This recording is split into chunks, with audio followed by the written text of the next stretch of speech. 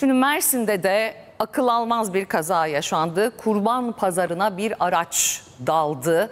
8 kişi biri ağır e, yaralı. Onun da hemen detaylarını paylaşalım. Mersin'in Merkez Yenişehir ilçesinde otomobil kurban pazarına, kurban hayvan pazarına daldı. Biri ağır 8 kişi yaralandı. 20 küçükbaş hayvanda telef oldu. Sürücüsünün kimliği öğrenilemeyen otomobilde Deniz Mahallesi Nevit Koddalı Caddesi'nde otomobil seyrederken araç kontrolden çıktı ve yol kenarındaki kurban hayvan pazarına girdi. Çevredekilerin haber vermesi üzerine itfaiye ve sağlık ekipleri bölgeye sevk edildi. Biri ağır olmak üzere biri çocuk 8 kişi yaralandı. 20 küçükbaş hayvanda telef oldu. Yaralılar sağlık ekiplerince çevredeki hastanelere kaldırıldı.